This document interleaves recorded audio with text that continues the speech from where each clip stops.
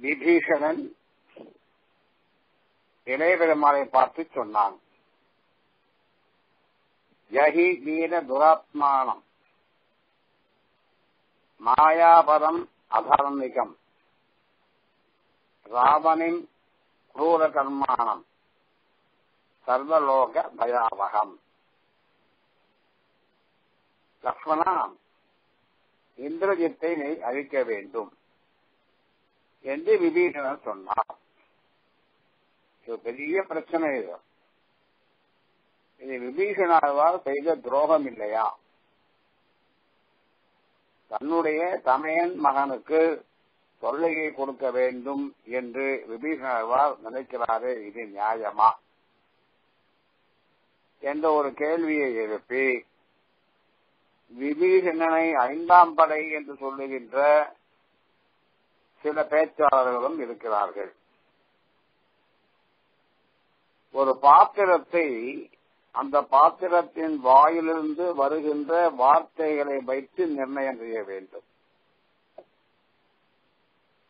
இந்திரஜித்தை அழி என்று சொல்லும் பொழுது நான்கு வார்த்தைகளை பயன்படுத்தி இருக்கிறான் விபீஷ்ணர்வான்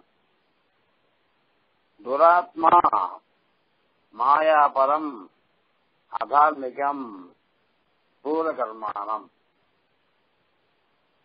இங்கே ராவணன் மகனான இந்திரஜித் நீங்க அர்த்தம் பண்ணக்கூடாது. ராவணன் மகனான இந்திரஜித் நல்லவனா இருந்தான்னா விபீஷணன் வாயை திறக்க போறதில்ல. இந்திரஜித் யாரு அப்படிங்கிறத படம் பிடிச்சு காட்டுறாரு. துராத்மா. மனதினாலும் வாக்கினாலும் செயலினாலும் மற்றவர்களை ஏமாற்றி தொல்லை கொடுப்பதையே வாழ்வின் இலக்காக வைத்துக் கொண்டிருப்பவன் துராத்மா. அது மாத்திரமல்ல. எதிரிகளை வெல்வதற்கு தான் வெற்றி அடைவதற்கு எத்தனை விதமான மாயங்கள் உண்டோ அத்தனையும் செய்யக்கூடிய ஒருவன்.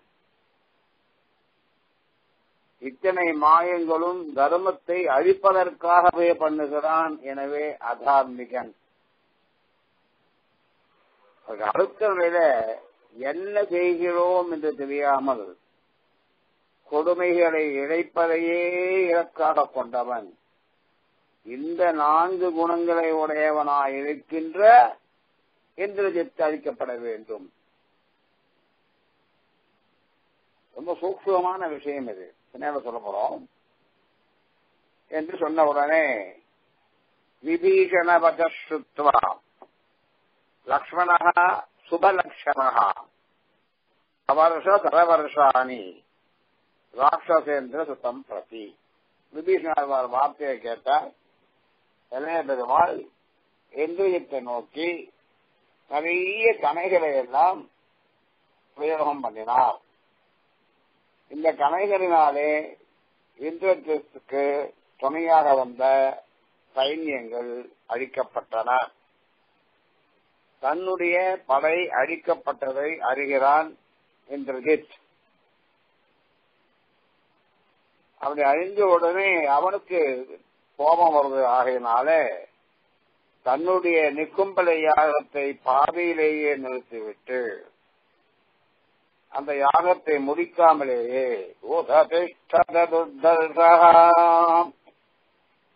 அந்த யாகத்தை ஒழுங்கா பண்ணியிருந்தான்னா அவன் யாரும் ஜெயிச்சிருக்க முடியாது. தனது படைகள் அழிக்கப்படுகின்றன என்று கேள்விப்பட்ட உடனேயே தாம் செய்து கொண்டிருந்த அந்த யாகத்தை பாதையிலேயே நிறுத்திவிட்டு அங்கிருந்து கிளம்புகிறான். கர்மணி அனுஷ்டித்தேன் ஒரு நல்ல காரியத்தை ஆரம்பிச்சா எத்தனை தடைகள் வந்தாலும் நிறுத்தக்கூடாது. தடைகளை நிறுத்தினோம்னா அந்த காரியங்கள் சரியா முடிக்கப்படலைன்னு சொன்னா நமக்கு சொல்ல ஏற்படும். அதனாலதான் நம்ம பெரியவ ஒரு வழக்கம் வச்சா பகவான பிரார்த்திக்கிறா. இந்த எஜமானனால் அனுஷ்டிக்கப்படுகின்ற இந்த நல்ல செயலானது ஒரு விக்னமும் இல்லாமல் உருப்படியாக நடக்க வேண்டும். இது மந்திரம். உபநயனத்தின் போது கல்யாணத்தின் போது யாகத்தின் பொழுது இந்த எஜமானன் அனுஷ்டிக்கின்ற இந்த செயலானது கிரகங்களினால் பாதிக்கப்படாமல் நிர்விக்னமாக தடையில்லாததாக ஒழுங்காக நடைபெற வேண்டும். அதற்கு பகவானாகிய நீ அனுகிரகம் பண்ண வேண்டும். பாகவதர்கள் அனுகிரகம் பண்ண வேண்டும். அது சத்திய வச்சனம்னு கேட்கும் சுவாமினா சத்திய மந்திர சபலா சந்தரி பவந்தா மகாந்தா ஆரம்பிச்சுட்டு நல்ல காரியம் நல்லபடியா முடியணும்னு பெரியவாள்லாம் அனுகிரகம் பண்ணணும் அப்படின்ட்டு அவருடைய உத்தரவை வாங்கிட்டு பண்றோம். அதுக்குதான் அனுஜைன்னு பேரு. அனுஜை சொல்லும்போது உபநயனமோ அல்லது கல்யாணமோ பண்ணதே அனுஜைன்னு சுவாமிக்கு எல்லாம் பத்து ரூபா கொடுக்குறோமே. அதோ அனுஜைன்னு நினைச்சிட்டு நம்ம. அனுஜைன்னு அர்த்தம்? We are getting the permission and the blessings of those great people. அவளுடைய பரிபூர்ணமான அனுகிரகம் இருக்கணுங்கிறதுக்காக உத்தரவு. இந்த உத்தரவு வாங்கிறதுக்காக கொடுக்கக்கூடிய கௌரவ காசு அது. அது வந்து பணம் இல்லை. அதனால அனுஜைன்னு பெறுது அதே மாதிரி நல்ல காரியங்கள் ஒழுங்கா நடக்கணும். இல்லைன்னா எந்த நல்லதை உத்தேசிச்சு ஆரம்பிச்சோமோ அதுவே நமக்கு பயன் தராம போயிடும். இவன் ஆரம்பிச்சாலும் ஒரு காரியம். அது நல்ல காரியம் இல்லை. அது பயம் இல்லாம போகணும். ஆகையினால பாதையில கெட்டு போகணும். பாதையில கெட்டு போறதுக்காக உடனே இந்த பறவைகள்லாம் அழிஞ்சது பாதையில நிறுத்திட்டான். தஸ்மின் காலேற்றும் அந்த சமயத்துல ஆஞ்சநேய சுவாமி என்ன பண்ணார்? இந்திரஜித்தை அழிக்கணுங்கிறதுக்காக மிக பெரியதான ஒரு குன்றை எடுத்து அந்த குன்றை வீசினார். அந்த குன்று இந்திரஜித்தால் பொடி பொடியாக செய்யப்பட்டது பெரிய ஒரு மரம் மகாவிருஷம் மிகப்பெரிய விருஷம் அவன் எடுத்து இந்திரஜித்தை அடிக்கணும் போனார். அந்த மரத்தையும் அவன் பொடி பொடியாக்கினான் இந்திரஜித் இந்த மரத்தை எல்லாம் பொடிப்படி ஆக்கினதும் திரும்பி பார்த்தா தன்னுடைய படையில இருந்த அரக்கர்கள் அடிபட்டு இருக்கிறார்கள் தெரிஞ்சது. எனவே தான் நேராகவே போரிலே இறங்குவது என்று நினைத்து சாரதியை பார்த்து ஒரு வார்த்தை சொன்னான். சாரதி முவசேதம் நேர கொண்டு போய் ஆஞ்சநேயனுக்கு எதிர தேர நிறுத்து. அவன் தான் மலையை தூக்கி போடுறது மரத்தை தூக்கி போடுறது இப்ப பண்ணிட்டு இருக்கான். நான் நேர பார்க்கணும். க்ஷயமேல எனக்குரியாது இவன் ஒருத்தனே எல்லாரையும் அடிச்சிடுவான் போடுறது அதனால முதல்ல நேர அனுமனை போய் பார்த்து அவன் எதிர இருந்து சண்டை போடணும். ராட்சசானாம் அத்தனை அரக்கர்களையும் ஒருத்தனை கொண்டு வாங்க போட்டிருக்கு. தேரோட்டு தேர ஓட்டு அனுமன் எதிர கொண்டு போய் தேர நிறுத்து. அப்படின்னா அவனும் மேல ஒரு தேவர் இருக்கிறார் உடனே ஆஞ்சநேயர் சொன்னார் யுத்தஸ்வயதி சூரோசி. உண்மையிலேயே நீ சூரனா இருந்தா என்னோடு சண்டை போடும். ராபலாத்ம சதுர்மதி அதே இவன் சொன்னான். சண்டை போடு. இந்த உனக்கு ஆற்றல் இருந்தா என்னோட சண்டை போடு. ரெண்டு பேரும் சண்டை போடுறது அப்படின்னு முடிவு பண்ணான். சண்டையை ஆரம்பிக்கிறதுக்கு முன்ன இந்திரஜித் வானர படையை பறக்கிறான் அங்கே விபீஷணாழ்வார் நின்று இருக்கார். இந்த விபீஷணாழ்வார் இருக்கிறத பார்த்த உடனே இந்திரஜித்துக்கும் கோபம் வந்துருச்சு தம் உவாச மகாபேஜாக அந்த விபீஷணாழ்வாரை பார்த்து இந்திரஜித் சொன்னா பா நீ எதிரி பக்கம் போய் சேர்ந்துட்டு இருக்கே ஈகந்தம் ஜாத சம்ருத்தா நீ எந்த வம்சத்தில் பிறந்திருக்க? எந்த நாட்டுல பிறந்திருக்க? யாருக்கு மகனா பிறந்திருக்க? யாருக்கு தம்பியா இருந்திருக்க? யாருக்கு சிறிய தகப்பனாவா இருக்க? இக இந்த லஞ்சம் அவளுக்கு பந்துடா நீ ராமனுக்கு உனக்கு என்ன சம்பந்தம் இருக்கு? சம்ருத்தா சாட்சாத் பிதர்மமா என்னுடைய தகப்பனாருக்கு நீ தம்பி ஆகணும் அப்படிப்பட்ட நீ கதம் துருக்கியதி புத்திரசிய நான் உனக்கு என்ன ஆகணும்? சமையன் மகன்னா உன் மகன் மாதிரி தானே. எனக்கு போய் துரோகம் பண்ணணும்னு நினைச்சிட்டு ராமன் பக்கம் சேர்ந்துட்டு யாகத்தை கெடுத்து என்னை அழிக்கணும்னு முயற்சி பண்றிய. பித்ருபியோபராட்சசா பித்ருக்களுக்கு சந்தோஷமான ஒரு காரியத்தை பண்ண வேண்டிய நீ பிசுறு சாபத்திலே கௌரவத்தை காப்பாற்ற வேண்டிய நீ இப்படிப்பட்ட ஒரு காரியம் பண்ணிருக்கே நியாயமா? இந்த சோகலட்சுமா எல்லாரும் கேட்கிறா. நான் சொல்லல. எந்த சொன்னா? உனக்கு நான் ஞாபகம் ஞாதின்னு பார்க்கணும். மற்றவெல்லாம் சுற்றா முற்றா நாங்கெல்லாம் உனக்கு ஜாதி. அது மாத்திரம் இல்ல ஞாதிகளுடைய சௌக்கியம் இருக்கு இல்லையா? அது வேற நீ பார்க்கணும். ஜாதித்வம் அதாவது ஞாதிகள்னு பார்க்கிற. அட மனுஷனுக்கு மனுஷன் ஹிதம் பண்ணணும் இல்லையோ? நான் சௌகார்த்தம். அதையும் பண்ணல.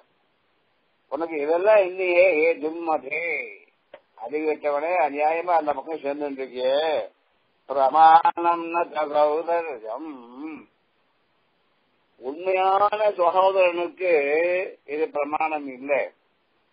உண்மையான சகோதரன்னா என்ன பண்ணணும்? என்ன நீ காப்பாற்ற முயற்சி பண்ணணும்? பண்ணல. தர்மோ தர்மதூஷணா. எதிரி பக்கம் சேர்ந்துட்டு என்ன அழிக்கணும்னு முயற்சி பண்ற பாரு விபீஷணா. இது தர்மம் இல்ல. அது மாத்திரமல்ல. சோத்தியத்துவம் அசி துர்புத்தி நீ எங்களுக்கு நிறைய தொல்லையை கொடுக்கிற. உன்னுடைய செயல்கள் இருக்க. நிந்த நீய சாதுக்கள் உன்னுடைய செயலை கேட்டா எல்லாரும் நிந்தனை பண்ணுவான் சரி என்ன இருந்தாலும் விபீஷணன் இப்படி ஒரு காரியத்தை பண்ணிருக்க வேண்டாம் அப்படின்னு சொல்லுவா. எத்தம் சஜனம் உத்ஸ்ருத்ய என்னதான் இருக்கட்டும்படா ஒரு ஆபத்து காலத்துல தனக்கு வேண்டிய ஜனங்களை விட்டுட்டு எதிரி பக்கம் போய் சேர்ந்துட்டு தன்னுடைய ஜனங்களையே அழிக்கிறதுக்கு யோஜனை சொல்ற ஒருத்தன் அப்படின்னு சொன்னா இந்த உலகம் என்ன சொல்லும்? பரபுத்தியமாகதா இன்னொருத்தருக்கு போய் அவனுடைய வேலைக்காரனா இருந்துட்டு அவன் சொல்றதை கேட்டுட்டு அவனுக்கு ஹிதம் பண்றதுக்காக சொந்த தமையனுடைய குமாரனுக்கு தொல்லை கொடுக்கிறே என்னடா தர்மம்? அப்படின்னு விபீஷ்ணாவை பார்த்து என்று கேட்டான். இந்த உலகத்துல குணவான் பரதனகா இருக்கட்டுமே பரஜனமா இருக்கின்ற ராமன் நல்லவனா இருக்கட்டும் உயர்ந்த வளம் உள்ளவனா இருக்கட்டும் அரசின் நாயகனா இருக்கட்டும் வீரமுள்ளவனா இருக்கட்டும் எவ்வளவுனா அவனுக்கு குணம் இருக்கட்டும். அதே சமயத்துல நம்ம பந்துக்கள் இருக்கிறது இல்லையோ நிர்குணம் அப்படி நம்முடைய பந்துக்கள் நல்லவன் இல்ல. எல்லாம் தெரியுது. இருந்தாலும் நிர்குண ஸ்வஜனகா ஸ்ரேயா நம்ம மக்கள் நம்ம ஜனங்கள் நம்ம பந்துக்கள் அவளை காப்பாத்தணும் அப்படிங்கிற எண்ணம் இருக்கு பாருப்பா. அதுதான் உசந்தது நீ என்ன பண்றீங்க? இன்னொருத்தருக்கு சகாயம் பண்றது அப்படின்னு ராமனுக்கு சகாயம் பண்றதுக்காக என்னுடைய அறிவுக்கு வழிகாமிச்சுருக்க விபீஷனா ஒரு வார்த்தை சொல்றேன் கேளு. யகா ஸ்வஜனம் பரித்திய தன்னுடைய பந்துக்களை விட்டுட்டு பரபக்ஷம் நிஷேவதே எதிரி பக்கம் போய் சேர்றானோ? அவன் பெரிய உண்மையை தெரிஞ்சுக்கணும். தசபக்ஷே க்ஷயம் பிராப்தே. அவனுடைய இனம் இருக்கும் இல்லையோ அவனுடைய பந்துக்கள் இருக்கோ இல்லையோ அவெல்லாம் அழிச்ச விற்பாடு நீ யார நம்பி போயிருக்கியோ? அவன் என்ன பண்ணுவான் தெரியுமா? நீ எங்களுக்கு வேண்டியவன் தெரிஞ்சிருக்கிறதுனால ஒன்னையும் அழிப்பான். இதுதான் உலகத்துல வழக்கம். எனவே நீ ஜாகிரதையா இருக்க வேண்டாமா? எப்படி நீ ராமன் பக்கம் சேரலாம்? அப்படின்னு கேட்டான். அதனால சொல்ற கேளுப்பா. தஸ்மாதுர்புத்தே ராட்சதானாம் குலாதமா நம்ம வம்சத்துக்கு தீர்வு விளைவிக்கிறது அப்படின்னு உறுதி பூண்டிருக்க விபீஷனா கடைசியா ஒரு வார்த்தை சொல்றேன் கேளு. சுவாமிய பந்து ரூபே நான் எந்த ராமனோட நீ சேர்ந்துட்டு இருக்கியோ அந்த ராமன் உனக்கு வேண்டியவனா இருந்து தன்னுடைய காரியத்தை சாதிச்சிட பிற்பாடு. ராமன் என்ன பண்ணுவான்? உன்னையே எதிரியா நினைப்பான். இதுதான்டா அரச தந்திரம். இது கூட தெரியாம அந்த பக்கம் போயிருக்கே ராமனுடைய அறிவாற்றல் புரியாம எங்களை அழிக்கிறதுக்கு ஒன்ன பயன்படுத்திட்டு தெரியாம அந்த பக்கம் போயிருக்கு. அப்படின்னா. அது மாத்திரம் இல்ல. நீ இங்க வந்து இந்த உபாயத்தை சொல்லியிருக்க நீ கும்பலையில நான் இருக்கேன் நான் யாகம் பண்றேன் யாகம் அழிக்கப்படணும்ன்றத ஞாத்வா உபாயம் பூர்வம். வேற யாருக்கும் இந்த ரகசியம் தெரியாது. நீ நான் யாகம் பண்றேன்ற செய்தி இந்த யாகத்தினால நான் வெற்றி அடைய முடியும் செய்தி உண்மை தவிர வேற யாருக்கும் தெரியாது. இதை தெரிஞ்சிட்ட நீர் என்ன பண்ணு ஜெயிக்கும் அஸ்மான் ராகவா ராமன் எங்களை ஜெயிக்கணுங்கிறதுக்காக நம்ம குடும்ப ரகசியம் எதுவோ அதை தெரிஞ்சின்ற நீ ராமன் பக்கம் சேர்ந்து அந்த ரகசியத்தை சொல்லி இந்த போர்ல ராமன் ஜெயிக்கிறதுக்கு நீ துணையா இருக்க அப்படின்னா நீ பக்ஷபாதியா இருக்க அப்படின்னா எங்களுடைய முடிவிற்கு பிறகு உனக்கும் அதே கதிதான் ஏற்படும். நீ ராட்சச வம்சத்துல வந்தவன் தான் உள்ளுக்குள்ள நீ ராட்சசமா என்ன ராமனுக்கு இருக்கும்? எனவே நான் சொல்ல வேண்டியது இது சரியான நடைமுறை அல்ல. அப்படின்னு சொன்னான். உலகத்துல ரெண்டு விதமான வாதம் உண்டு. உலகத்துல இரண்டு விதமான மனிதர்கள் உண்டு. சரீரத்தையும் சரீரத்தினால் வருகின்ற உறவுகளையுமே பெரிதாக நினைக்கின்றவர்கள் இந்திரஜித் போன்றவர்கள். சரீரத்துக்கு உள்ளே இருக்கின்ற ஆத்மாவை பற்றியும் ஆத்மாவுக்கு ஹிதம் என்ன என்பதை பற்றியும் சிந்திப்பவர்கள் விபீஷனை போன்றவர்கள். இதுதான் லௌகீகன் வைதிகன் சொன்னா. லௌகீகன் வைதிகன் இப்ப பண்றவன் அர்த்தமே வேற பண்ணிருக்கான் உத்தியோகம் பண்றவன்லாம் லௌகீகன். மீதி வந்து வேதம் எல்லாம் வச்சுட்டுக்குவா வைதிகன் சொல்லிட்டு. என்னைக்கு பணம் சம்பாதிக்கணும் அப்படின்ற எண்ணம் வந்ததோ அன்னைக்கே எல்லாரும் லௌகீகள் தான். இன்னும் சொல்ல போனா சாதாரண லௌகீகனை விட இந்த வேதம் அறிஞ்ச லௌகீக வாழ்க்கை வாழ்வா இருக்கார நான் கோவிலுக்கு போனா செல்போன் எடுத்து போக மாட்டேன். வேதாந்தம் என்ன பண்ணாத செல்போன் இல்லாம கோவிலுக்கு போக மாட்டேன். அதனால இதுல என்ன தெரியுதுன்னா ஆத்மாவுக்கு ஹிதம் தேடுறவன் ஒரு ஜாதி. சரீரத்துக்கு ஹிதம் தேடுறவன் ஒரு ஜாதி. இந்த ரெண்டு ஜாதி தான் உலகத்துல இருக்கு. அழிகின்ற சரீரத்தை காப்பாற்ற வேண்டும் என்பதற்காக அதற்கு எதை வேண்டுமானாலும் செய்யலாம் என்ன வேண்டுமானாலும் செய்யலாம் என்று நினைப்பவர்கள். யாருன்னு கேட்டா இந்திரஜித் போன்றவர்கள். என்ன வந்தாலும் சரி அழிய போகின்ற சரீரத்தை பத்தி கவலை கிடையாது. சரீரத்துக்குள்ள ஆத்மா இருக்கா? ஆத்மா பரமாத்மா ஸ்வரூபம் எங்க தர்மம் இருக்கோ எங்க நியாயம் இருக்கோ எங்க மானுடம் இருக்கோ அந்த இடத்துல இருக்கிறது தான் ஆத்மாவுக்கு சுகம். ஆகவே ஆத்மாவை அங்கே. உரையாக உரை எழுதினான் பற்றி எரிகின்ற வீட்டிலே இருக்கின்ற ஒருவன் தன்னை பாதுகாத்துக் கொள்ள வேண்டும் என்று நினைப்பது தவறல்ல. எனவே விபீஷணன் அந்த இனம். அதனால இந்த விபீஷண சரியா புரிஞ்சுக்கல. யார் புரிஞ்சுக்கல? இந்திரஜித்தே புரிஞ்சுக்கல. நாம எங்க புரிஞ்சுக்கிறது? விபீஷண கேரக்டர் இருக்கு இல்லையா? ராமாயணத்துல ஸ்டடி தி கேரக்டர்ஸ் ஆயிரக்கணக்கான வருஷங்களுக்கு முன்னால எழுந்த ஒரு இலக்கியத்துல அப்பவே சரீரத்துக்கு வருகின்ற அந்த உறவுக்கு முக்கியத்துவம் கொடுக்கிறதா? ஆத்ம பந்து யாரு? அதுக்கு முக்கியத்துவம் கொடுக்கிறதா? அப்படின்னு சர்ச்சை இருக்கு இல்லையா? அன்னைக்கே ஆரம்பம். விபீஷணன் தெளிவா சொல்றான் அஜானன்னிரமத்சக்தின் அப்பா இந்திரஜித்து நான் யாரு? என்னுடைய சக்தி என்ன?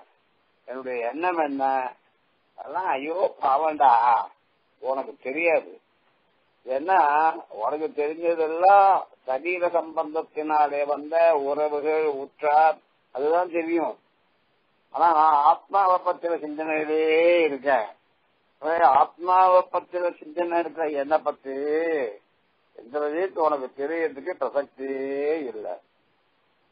ஏ ராட்சசா விகப்சதே அப்படின்னா உளவேன்னு அர்த்தம். சத்தியதே விகப்சதே. என்னமோ வாய்க்கு வந்ததெல்லாம் உளறின்னு இருக்க ஏ ராட்சசேந்திர சுதா அப்பா ராட்சசேந்திரனுடைய மகனே சொல்றேங்க நீ புரிஞ்சுக்காம என் பேர்ல பாருஷ்யம் தெக கௌரவாது. என் பேர்ல வந்து ஒரு பகைமையினால பேசுற பேச்சு இருக்கு பாரு. அத விட்டுடு. நான் பிறந்தது என்னமோ உங்க வம்சத்தில் தான் ராட்சத வம்சத்தில் தான் பிறந்தேன். அதை நான் மறக்கல. குலேயத்யபம் ஜாதா என்ன சொல்ற? இந்த வம்சத்துல பிறந்தவன் தானே நீன்னு கேட்டியோ இல்லையோ? அதோட சந்தேகமே இல்லை. நான் அந்த வம்சத்துல பிறந்தனே தவிர என்னுடைய வாழ்க்கை எப்படி தெரியுமா? குணோயம் பிரதமோன்று நாம் நான் ஆத்ம குணத்துக்கு முக்கியத்துவம் கொடுத்தேன். ஆத்ம குணம் இல்லேன்னு சொன்னா பிரயோஜனம் இல்லை. ஆத்ம குணம்னா என்ன அப்படின்னு கேட்டா ஆத்மன தன்மே செய்யற மராட்சசன் ஆத்ம குணம் மறந்துடுச்சுன்னா அறக்கிற தன்மை போயிடும். ஆத்ம குணம்னா என்ன? கௌதமன் ஒரு சுவாமி. அவர் சூச்சனம் பண்ணிருக்கார் நாற்பது சம்ஸ்காரங்கள் ஒழுங்காக செய்யப்பட்டிருந்தாலும் ஆத்மகுண பூர்த்தி இல்லை என்று சொன்னால் அவனுக்கு பிராமணத்துவம் வருவது இல்லை.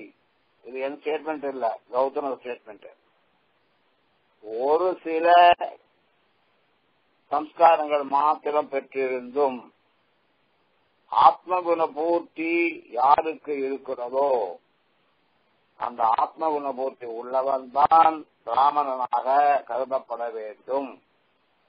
குணம்தான் முக்கியம். எங்க பிறந்தோன்னு முக்கியம் இல்லை.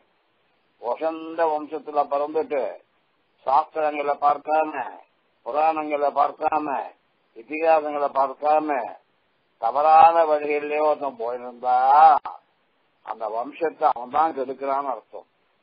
அதே ஒரு பொல்லாத வம்சத்துல பிறந்து பொல்லாத்தனத்தெல்லாம் கிட்ட சேர விடாம நல்லதே பண்ணிட்டு இருக்கான் அப்படின்னு அவன் உயர்ந்தவன் ஆகையினாலே என்னென்ன சரியா புரிஞ்சுக்கல.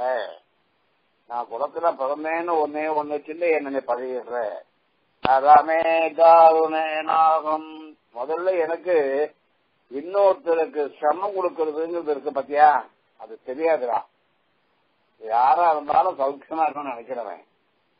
நீங்க அப்படி இல்லை. எந்திரத்தி உங்க எண்ணமே வேற. நான் உங்க ஆத்துல தான் இருந்தேன். உங்களுக்கு தான் பழகிட்டு இருந்தேன். நீ எனக்கு தகமையான மகன் தான் எல்லாம் சரி. நாமே தாருணே நாகம். கொடுமை எனக்கு தெரியாது. அதர்மேன வைரமே. எனக்கு அதர்மத்துல ஆசையே கிடையாது. எது தர்மம்? எது அதர்மம்னா ஆத்ம ரக்ஷா வந்திருக்க தன்னுடைய ஆத்மாவை காப்பாத்துக்கிறது தான் தர்மம். சரீரத்தை காப்பாத்துக்கிற தர்மம் எல்லா ஜீவராசிக்கும் தான் இருக்கு எல்லாரும் சரீரத்தை காப்பாத்திக்கிறது. யானை காப்பாத்துக்கிட்டியா? குதிரை காப்பாத்திக்கலையா நரி காப்பாத்துக்கலையா சிங்கம் காப்பாத்துக்கலையா கேவலம் சரீரத்தை காப்பாத்துறதுதான் வாழ்க்கைன்னு சொன்னா அது உகந்த வாழ்க்கை இல்லை. இந்த சரீரம் நடப்பதற்கும் செல்வதற்கும் சாப்பிடுறதுக்கும் காரணமா இருக்கிற ஆத்மா இருக்கானே. அந்த ஆத்மா உள்ள இருக்கானே. அந்த ஆத்மா பகவத் ஸ்வரூபம் பகவானுடைய அம்சத்தினுடைய ஒரு அணு. அப்படின்ற பிரஜை வந்து ஆத்மாவுக்கு ஹிதம் பண்ணணும். அப்படின்ற எண்ணம் யாருக்கு வருதோ அவன் தான் வசந்தனன். உயர்ந்த ஜாதியில வசந்தன் ஆயிட முடியாது. அதனால எனக்கு அதர்மத்துல என்னைக்குமே ஆசை இருந்தது இல்லை ராத்திரா விஷமசீல ராவணன் கிட்ட மரியாதை வச்சிருந்தேன். ஆனா அவன் பொல்லாத ஒரு காரியத்தை என்னைக்கு பண்ணானோ அன்னைக்கே முடிவு பண்ணிட்டேன். ஐயோ இந்த இடத்துல போய் இவங்கிட்ட விசுவாசம் வச்சிருக்கனே அப்படின்னு முடிவு பண்ணிட்ட. ஆகையினால கதம் பிராத நிரசியமே எப்படி அவனை ஏற்றுக்க முடியும்? ஆகையினாலே நாங்க கர்மாதீலம் ஹி. வசந்த குணம் எது தெரியுமா? தர்மத்தை ஒருத்தன் மீறலான்னு சொன்னா அவனை விட்டு நாம விளையணும் அவனை திருத்த முடியாது. அதனால நம்ம என்ன பண்ணணும் தர்மாத்து பிரச்சுத தர்மத்திலேருந்து நழுவுறது அதவரை ஞாபகப்படுத்துவேன் தர்மம்னு இங்க சொல்லிச்சேன்னா வால்மீகி ஆத்மாவுக்கு ஹிதம் பண்றதுதான் தர்மம் வால்மீகி ராமாயணத்தினுடைய அடிப்படை கொள்கையே இதுதான் ரெண்டு தர்மம் சரீரத்தை காப்பாற்றுறதுன்னு ஒரு தர்மம் அது லௌகீக தர்மம் உலகியல் வாழ்க்கை அறம் ஆனா ஆத்மாவுக்கு ஹிதம் பண்ணணும். ஆத்மாவை ரட்சிக்கணும். அப்படின்னு நினைச்சா தப்பு பண்றவன் தர்மத்துக்கு விரோதமா நடக்கிறவன் துரோகம் பண்றவன் இவனை எல்லாம் ஒதுக்கிறது தான் சௌகரியம். எனவே கர்மாத்தியுத சீலன்ஹி புருஷம் பாப நிச்சயம் தர்மத்திலேருந்து ஒருத்தன் தவறிட்டான்னு சொன்னா நிச்சயமா அவன் பாபம் பண்றான்னு அர்த்தம். அது தமையனா தம்பியா தமையன் குமாரனா அதெல்லாம் பாக்குற வழக்கம் கிடையாது. இந்த உறவுகள் எல்லாம் சரீரத்தினால வருது. ஆத்மாவனால இல்ல. ஆகையினால ஆத்மாவை பத்தி கவலைப்படுறவன் தியக்வா சஜனம் ஆப்னோதி. தப்பு பண்றவன் தன் சொந்தக்காரனா இருந்தாலும் அவனை விட்டு விலகிடணும். அதுதான் தர்மம். ஆகினால நானு உங்களை விட்டு விலகி இருக்கிறதுக்கு காரணம் தெரியுமா? ஒரு வஸ்துவ கையில எடுத்துட்டேன். அது ஏதோ கயிறு நினைச்சு எடுத்துட்டேன். எடுத்துட்டு பிற்பாடு பார்த்தா அது மிகப்பெரிய மகா சப்தமா இருக்கு. பாம்பா இருக்கு. அது பாம்புன்னு தெரிஞ்ச பிற்பாடும் கையில வச்சுட்டு இருக்கேன்னா என்ன போல பைத்தியக்காரன் இருக்க மாட்டான். கையில ஏதோ ஒரு வஸ்து கிடைச்சது அதை எடுத்தேன் பார்த்தேன் அது கயிறு நினைச்சுட்டு இருந்தேன். ஆனா சுவாவம் என்ன அப்படின்னு கேட்டா அது வந்து புஷு புஷுன்னு சீர்றது. ஐயோ ஏதோ ஹிம்சை பண்றதா செய்யுது அப்படின்னு நினைச்சேன். இது பாம்புன்னு தெரிஞ்சது. கையில வச்சுட்டுக்கலாமோ பாம்பு கீழே போட்டுருவோம். அந்த மாதிரி ராவணன் ஒருத்தன நம்ம கூட பிறந்தவன் நினைச்சிட்டு இருந்தேன். பந்துன்னு நினைச்சிட்டு இருந்தேன். ஆனா எப்ப சீதையை அபகரிச்சு கொண்டு வந்து வச்சாலும் அப்பவே மாற்ற மனைவியை அபகரிக்கிற இவன் பாம்பை விட கொடியவன். ஆகையினால பாம்பை தூக்கி தூரம் போடுற மாதிரி தூக்கி தூர போடணும். ஆகையினால ராவணனை விட்டு பார்த்தேன் ஸ்வதனம் அப்னோதி அது மாத்திரம் இல்ல பற்றி இந்த வீட்டிலிருந்து தான் தப்பிச்சா போகும் சுற்றிலும் அதர்மம் இருக்கு. நடுவில் நான் மாறி விட்டேன் நான் என்ன பண்றது? அதர்மத்திலிருந்து வெளியில வரணும்னு நினைச்சேன். ஆகையால வெளியில வந்திருக்கேன். இந்த சுமூக்ஷமம் தெரியாம நீ வந்து நான் வெளியில வந்து வச்சுட்டு என்ன இப்படி எல்லாம் பேசுற? இந்த உலகத்துல யார் யார் பாதைகள் தெரியுமா? ஹிம்சா பரஸ்யகரணம் இன்னொருத்தருடைய பொருளை அபகரிக்கணும்னு நினைக்கிறான். உள்ளத்தால் உள்ளலும் செய்தே பிறர் பொருளை கள்ளத்தால் கல்வியும் எதாவது அவனுக்கு தெரியாம வஸ்துவை அபகரிக்கணும்னு எவனாவது நினைச்சான்னா அவனை விட்டு விளையணும் அது பாவம். ரெண்டாவது பரதார விமர்சனம். இன்னொரு மனைவிய எவன் விரும்புறானோ அவன் பக்கத்துல நாம இருக்கிறதே தப்பு. ஏன்னா தர்மத்தை மீறி இருக்கான். இந்த தர்மத்தை மீறி இருக்க அவன் பக்கத்துல இருக்க பரதார விமர்சனம் இருக்கிறதே மகா பாவம் எதுன்னு கேட்டா மாற்றார் மனைவி. அவர் கட்டுரை எழுதியிருந்தார். ராமாயணத்தின் அடிப்படை கருத்துக்கள் ஒழுங்காக உலகத்திலே பரப்பப்பட்டிருக்குமானால் இன்றைய அனர்த்தங்கள் குறைவதற்கு வாய்ப்பு இருந்திருக்கும் முதல்ல சேர்ந்து வாழச்சே உயர்ந்த பண்பு என்னன்னா தன் மனைவியை தவிர மற்றவர்களை சகோதரியாக அன்னையாக நினைக்கின்ற உயர்ந்த உள்ளம் வர வேண்டும். அப்படி வந்தாதான் சமுதாயத்துல அன்னெசரி கிளாஷஸ் தேவையில்லாத சண்டைகள்லாம் இல்லாம முழுக்க முழுக்க மானிடம் கரைக்கணும் தான் ராமாயணம் நோக்கம். அதனால அப்பா இந்திரஜித்து ஆகனால்தான் விட்டு வந்தேன் தவிர ஏதோ ராமன் பக்கத்துல சேர்ந்துட்டா எனக்கு ஆதாயம் இருக்கும்னு நான் வந்திருக்கேன் நீ நினைச்சா தப்பு.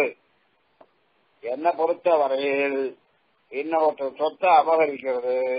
இன்னொருத்தர் மனைவியை விரும்புறது நல்லவர்களுக்கு தீங்கு இழைக்கிறது. இதெல்லாம் உலகத்திலேயே கொடிய தீமைகள். இந்த மூன்று தீமைகளை பண்ணிருக்கிறவர் உங்க அப்பா நீ ஞாபகம் வச்சுக்கணும். மகர்ஷியினாம் வசகா கோரகா கந்தகார் எண்ணெய் இந்த ரிஷிகளை எல்லாம் அனாவசியமா கொண்டிருக்கானே என்ன லாபம்? அந்த ரிஷிகள் எல்லாம் எவ்வளவு கஷ்டப்பட்டிருப்பா? அவன் அத்தனை பேரே கொண்டு இருக்கான் அது ஒரு பாபம் சர்வ தேவைத்த விக்கிரகா ஒரு தேவதையை விடல. எல்லா தேவதைகளையும் செயல்படுத்தி எல்லாரையும் கொண்டு வந்து இங்க வச்சுட்டு இருக்க. ஆகையினால உங்க அப்பா பண்ண ரெண்டாவது தப்பு. அபிமான கோபஸ்டா அபிமானம்னா ஒரு வஸ்து பேர்ல அளவுக்கு அதிகமா ஆசை. இந்த ஆசையை அடைய முடியலன்னா கோபம். அதனால அபிமானம் கோபம். இந்த கோபத்தினால என்ன ஏற்படுறது? ராமனை எதிரியா நினைக்கிறான். ராமனுக்கு நமக்கும் என்ன சம்பந்தம்? அவன் ஏன் எதிரியா நினைக்கிறான் அவங்க அப்பா. காரணம் என்ன? அவனுக்கு சீரிய நிலத்திலிருந்து அபிமானம். அடைய முடியாததுனால கோபம். இந்த கோபத்தினால ராமனை எதிரியா நினைக்கிறான். ஃபண்டமெண்டல் இந்த அடிப்படையே தெரியாம என்ன போய் கோபிச்சுக்கிறேடாப்பா தர்மம் தெரிஞ்சவனுக்கும் தர்மம் தெரியாதவனுக்கும் வித்தியாசம் உண்டு இல்லையா? நான் தர்மம் தெரிஞ்சவன். ஆகையினால ஏதேதோ என்னுடைய சகோதரன் சொன்னேன் உங்க அப்பா இந்த மூணு தப்புகளை பண்ணிருக்கான் வாழ்க்கையில சில தவறுகளை பண்ணக்கூடாது. பண்ணா இந்த கதிதான். இந்த மூணு பண்ணதுனால வாழ்க்கையை கெடுத்திருக்கான் ஜீவித்தை ஐஸ்வர்ய நாசனானா இன்னொருத்தர் வாழ்க்கையை கெடுத்திருக்கான் இன்னொருத்தர் உயிரை போக்கியிருக்கான். பாபத்தை பண்ணிருக்கான் ஆகையினால அவனுடைய தீய குணங்களை பார்த்து இந்த பக்கத்துல இருக்கிறது தப்பு அப்படின்னு முடிவு பண்ணிதான் நான் ராமன் பக்கம் சேர்ந்தனே தவிர கேவலம் உங்களை எல்லாம் காட்டி கொடுத்து அதனால நான் ஏதோ லாபம் சம்பாதிக்கணுங்கிறதுக்காக ராமன் பக்கம் சேர்ந்தான் நினைச்சேன் அது உங்களுடைய அறியாமை. கம்பன் ரெண்டு பாட்டு எழுதினான்.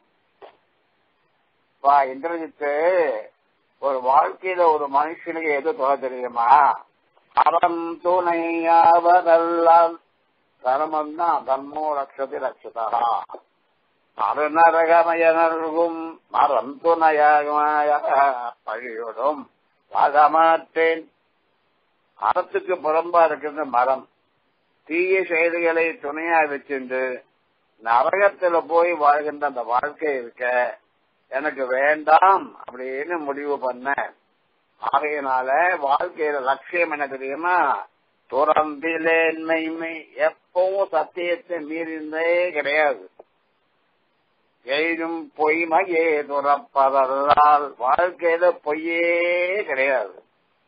பிறந்திலேன் இலங்கை வேந்தன் இலங்கை வேந்தன் பின்னால பிறந்தவன் சொன்னியே பின்னவன் பிழைத்த போது அவன் தவறு பண்ண பிற்பாடு அவன் சமயன் நான் தம்பிங்கிற பந்தம் பாதம் எல்லாத்தையும் எப்போ சீதையை அபகரிச்சு கொண்டு வந்து இலங்கையில வச்சாலும் அன்னைக்கே நான் உறவை வேண்டாம்னு முடிவு பண்ணிட்டேன்.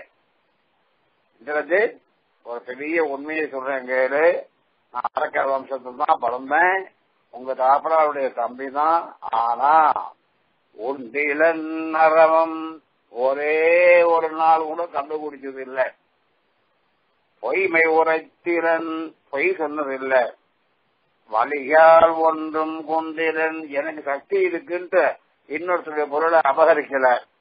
மாய வஞ்சம் குறித்திலன். ஏமாத்தி ஒருத்தனை ஜெயிக்கணும் அப்படின்னு நினைச்சது கிடையாது. யாரும் குற்றம் கண்டிலர். என்கிட்ட ஒரு குறையும் யாரும் காண முடியாது. இந்த குணங்கள்லாம் ராமன்கிட்ட இருந்திருக்கு. குடிச்சிருக்கான் பொய் சொல்லியிருக்கான் பழமையினால பரவ சொல்ல பண்ணிருக்கான் ஏமாத்தி இருக்கான் செய்தியை தூக்கிட்டு வந்திருக்கான். இதுக்கு எனக்கு சம்பந்தமே கிடையாது. அதனாலே பிறப்பினாலே ஒரே வம்சத்திலே இருந்த போதிலும் கூட சிறப்பினாலே நான் ராவணனை விட்டு ஒதுங்கி வாழ்பவன். என்ன? நன்கு கற்ற அறிவுள்ள பெரியவர்கள் விபீஷணனாகிய எனது செயலிலே குற்றம் காண மாட்டார்கள். அவன் சொல்லல. அவன் சொன்னான். ஆகவே பெண்டீரால் திறம்பினானை எல்லாத்தையும் பொறுத்துக்கலாம். இன்னொருத்தனுடைய மனைவியை விரும்பி அதனால தப்பு பண்றான் ஒருத்தன்னு சொன்னா அவனை விட்டு வெளியில வர்றதுன்னு இருக்க அது பிழையே அல்ல. எனவே ராவணன் செய்த பெரிய பிழையினாலே நான் அவனை விட்டு பிரிஞ்சு வந்திருக்கேனே தவிர இந்திரஜித் எந்த காரணத்தினாலும் உங்களை அழிச்சு இலங்கையை என்னுடைய ஆக்கணும் அப்படிங்கிற சுயநலத்திலே ராமன் பக்கத்திலே சேர்ந்தவன் இல்லை. நான் அறத்தின் பக்கம் சேர்ந்திருக்கிறேன் என்பது உண்மை. அறமற்ற உங்களிடமிருந்து பிரிந்திருக்கிறேன் என்பது உண்மை. இந்த இரண்டு உண்மையில் புரியாத காரணத்தினால் உன்னை போன்றவர்கள் என்னை சந்தேகப்படுகின்றார்கள்.